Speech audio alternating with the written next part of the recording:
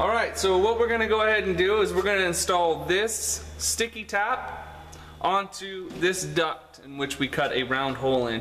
If you don't know how to cut a round hole into a rectangular piece of duct, I would suggest you go back to my video on how to cut a round hole into a rectangular piece of duct. Um, I'll go ahead and post a link to that as well. Um, so we're going to put this right on there. Pretty simple.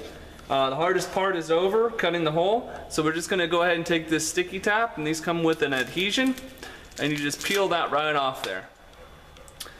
Take this, go right over our hole. We wanna make our hole potentially a little bit bigger.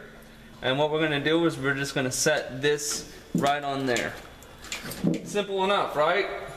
Go ahead and take uh, self-tapping screws or uh, sheet metal zip screws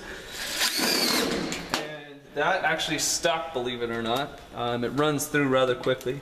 And just to go be an overachiever, I'm gonna go ahead and run four into this. Typically on six inch, you only have to run three. But we're gonna really make sure that this puppy's tight in there. So, there you have it. Tap stuck right in there. We're gonna go ahead and take our uh, duct sealant. I like using DP 1010.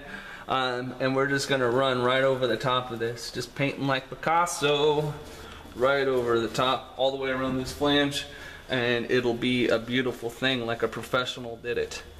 Um, don't wanna leave too much. I usually run my brush right back around, peel off any excess duct sealant. Stuff gets expensive. Um, and there you have it. Our sheet metal takeoff is installed right there on our duct and ready to go, ready to accept air and uh, visit my next video on how to install a start collar.